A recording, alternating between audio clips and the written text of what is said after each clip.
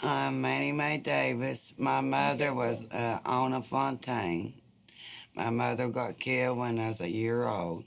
My dad killed my mom.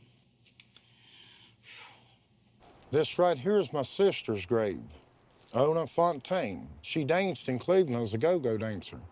And her and her husband got divorced. She went back there to strip dance and where she come from, and he followed her. Comes into a place called Bonnie and Clyde's. And she's in here dancing to Creedence Clearwater in a diamond bathing suit. He asks her to come outside to talk to him. She says, no, I have nothing to say to you. We're divorced, and I want you to get out. If you don't, I'm gonna have the bouncer bounce you out. So, man, he goes in the bathroom, loads a 357 and a 38. And he comes back in, and she's on the bar dancing to the music like this, in slow motion. And he says, hey, Fawn. She turned around, he went, shot her, man. She fell right behind the bar, and her head hit the thing where the cash register was and fell. And he runs out on the street and throws both guns down and says, oh, my God, what did I do? And then my grandma raised me. Talked to my dad one time, Clyde Ray Davis, and I asked him, I said, you know, why'd you take my mom? You know, I need her more than anything. Why'd you kill my mom? He never would tell me why. I wrote him letters and wrote him letters. Why did you kill my mom? He said if he couldn't have her, no one could.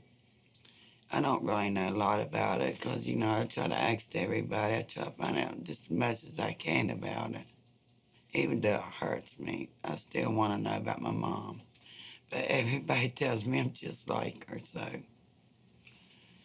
She always whipped the shit out of Mamie, is what I've always heard. She took no shit from no man, no woman, just like me. I hit a man whereas I would a bitch. I mean, I don't care. I'll fight death. I mean, I don't care. I'll bring blood. Tell about your most badass knife fight. I had one in Charleston with five black girls. I'm not a racist person. I never will be. I love all people. I don't care if you're green, yellow, purple, blue, pink, whatever. I'm not a racist person. I've been with black men. I've had, you know, white men. You know, I don't care what anybody says about me or what they think about me. They always call me nigger lovers. All of them has. My whole family has. But they all talked about me. That man treated me better than any white man ever treated me. At least he didn't beat on me. You know, I'm just, and you know, they started calling me names and shit. Five of them. She just stood there and I told them, come on, porch monkey. I fucking flipped my blade and had my mace in the other hand when they did approach me. I sprayed him and I just started cutting. That's just how it is. I'd cut one today. It don't matter to me. I cut the fucking eyeball open. I don't care. But now I could take my hands and just put peer pressure.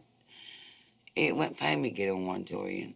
Because I would pour the fucking eyes out. I'd bite the fucking flesh off in their face. That's how I am. I will. They come to my life. I'll do whatever it has to take to save my life. Might do it again tonight. Mom said bye.